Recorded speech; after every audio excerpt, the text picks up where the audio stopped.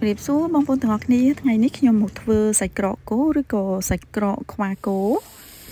ដើម្បីមកបង្ហាញជូនបងប្អូន ចាសាច់ក្រកហ្នឹងគឺយើងយកទៅអាំងណាបងប្អូនឆ្ងាញ់មែនទែនអាំងហើយញ៉ាំជាមួយនឹងជ្រក់ល្ហុងណាចាគឺរសជាតិឆ្ងាញ់ចាជាដំបូងហ្នឹងខ្ញុំមានសាច់គោលីខ្លាញ់ហ្នឹងចំនួន2គីឡូខ្ញុំយកវាទៅហាន់ជាចង្វាមូលប៉ុណ្ណឹងបងប្អូនដើម្បីយកទៅកិនចានេះខ្ញុំប្រើម៉ាស៊ីននេះសម្រាប់កិនសាច់ហើយនឹង សម្រាប់ធ្វើសាច់ក្រកនឹងផងដែរបងប្អូនម៉ាស៊ីនហ្នឹងគឺយើងអាចធ្វើទាំងពីរនឹងបានណាបងប្អូនចាគ្រាន់តែខ្ញុំបដូរក្បាលវាទៅ គឺខ្ញុំអាចកិនសាច់ផងហើយនឹងធ្វើជាសាច់ក្រកផងណាបងប្អូនចាទីទៀតនឹងខ្ញុំនឹងបង្ហាញបងប្អូនពីរបៀបចាប្រើម៉ាស៊ីនហ្នឹងចាឥឡូវហ្នឹងខ្ញុំចាប់ដើមកិនសាច់ជាដំបូងចាហើយម៉ាស៊ីនហ្នឹងបងប្អូនកិនគឺវាកិនសាច់ណាសាច់អីក៏បានដែរណាបងប្អូន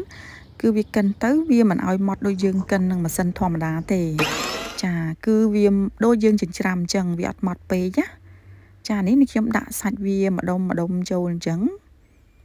ហើយវាចេញបែបនេះបងប្អូន ចាម៉ាស៊ីននឹងល្អមែនតែនចានេះនេះខ្ញុំដាក់វាកិនម្ដងមួយម្ដងមួយអញ្ចឹងហើយសាច់វាអញ្ចឹងបងប្អូនគឺវាអត់ម៉ត់ខ្លាំងដូចយើងកិននឹងម៉ាស៊ីនម៉ាស៊ីនធម្មតាទេ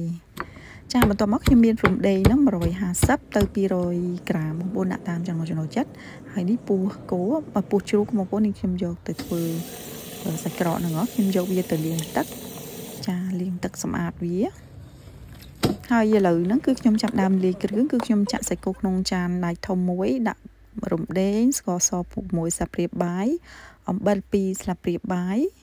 ចាបើសិនជាបងប្អូនចង់បានរសជាតិមុតបងប្អូនថែមអំបិលបន្តិចណា ចាបន្ទាប់មកមានម្សៅខ្ទឹមសប្រេងខ្យងហើយនេះជាម្សៅម្ទេសខ្ញុំដាក់វាពីស្រាព្រាបាយកន្លះស្រាចិនបងប្អូនអត់មានស្រាចិនអាចប្រើស្រាសយើងក៏ក៏បានដែរហើយបន្តមកទៀតនេះខ្ញុំដាក់ប៊ីចេងហើយនឹងបាយចាបាយនេះខ្ញុំដាក់វាមួយចានបងប្អូនដាក់ចានឬតិចទៅតាមចំណង់ចំណូលចិត្តណាបងប្អូនហើយនេះខ្ញុំចាប់ដើមច្បល់វាចា ចំបាច់វាឲ្យចូលជាតិគ្នាល្អនាងខ្ញុំប៉ាប់អាប់វាទុកចា1ម៉ោងឬក៏2ម៉ោងចាទៅតាមបងប្អូនមានពេលណាចាឥឡូវហ្នឹងគឺនេះខ្ញុំចាប់ដើមធ្វើសាច់ក្រកតែម្ដង ចាឥឡូវហ្នឹងខ្ញុំយកពុះចាពុះជ្រូកហ្នឹងចាយកទៅ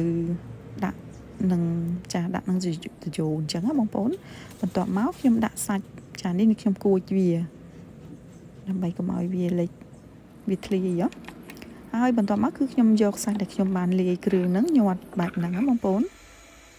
ចាហើយទាញវាបដ ாய் អញ្ចឹងទៅ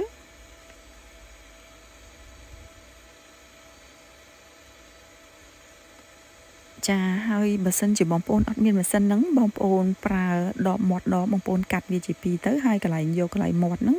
ចាបងប្អូនយកពុះពោះជ្រូកហ្នឹងចា យកទៅរុំជាមួយនឹងមាត់ដបហ្នឹងតោះមកបងប្អូនញាត់ណាចាវារៀងពិបាកបន្តិចបងប្អូនប៉ុន្តែយើងអាចធ្វើបាន ចានេះរួចរាល់ហើយហើយធ្វើជាមួយនឹងម៉ាស៊ីននេះខ្ញុំធ្វើបានលឿនមែនតើបងប្អូនសាច់2គីឡូហ្នឹងគឺខ្ញុំធ្វើមិនដល់5នាទីផង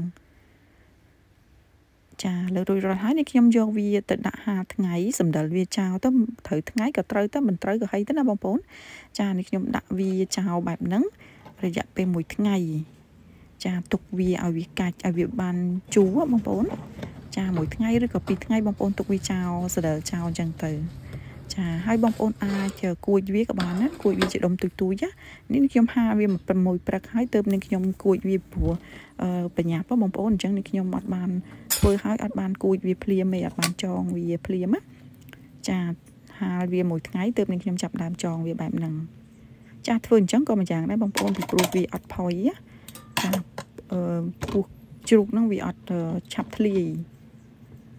ព្រោះនេះខ្ញុំបានហាលវាមួយថ្ងៃហើយហ៎ចាហើយបងប្អូនចងវាម្ដុំទូចទូចឬក៏ធំធំទៅតាមចាទៅតាមចំណងចំណូលចិត្តចានេះនេះខ្ញុំចងវាប៉ុណ្ប៉ុណ្ណឹងហើយខ្ញុំប្រើខ្សែខ្សែចងហ្នឹងគឺខ្សែចងសម្រាប់គេធ្វើអាហារបងប្អូនចាអញ្ចឹងវាអត់មានប៉ះពាល់អីទេបើសិនជាបងប្អូនរកខ្សែអត់បាន បងប្អូនយកកំបោះយើងចាចងក៏បានដែរហើយនៅពេលដែលបងប្អូនចំអិនបងប្អូនកាត់វាចេញទៅណាចាឥឡូវរួចរាល់ហើយនេះខ្ញុំបន្តដាក់សណ្ដិលវាហ្នឹងប្រហែលជាកន្លះថ្ងៃថែមទៀតណាបងប្អូនដើម្បីឲ្យវាចាឲ្យសាច់ក្រកយើងឆ្ងាញ់ជូរទើបនេះខ្ញុំយកទៅទុកទូទឹកកកសម្រាប់អាំងញ៉ាំចានៅថ្ងៃណាមួយអញ្ចឹងណាចានេះនេះខ្ញុំធ្វើ barbecue ថ្ងៃហ្នឹងបងប្អូន គឺអាំងសាច់ ចាគឺយើងយកអាំងលើលើខ្ជូរអញ្ចឹងណាបងប្អូន គឺថាឆ្ងាញ់មែនទែនរសជាតិណាហើយញ៉ាំបើបានញ៉ាំជាមួយនឹងជ្រក់ល្ហុងថែមទៀតណាបងប្អូន គឺថារសជាតិឆ្ងាញ់មែនទែនចាហើយថ្ងៃនេះផ្ទះខ្ញុំអាំងសាច់ញ៉ាំបងប្អូន ចាអរគុណច្រើនបងប្អូន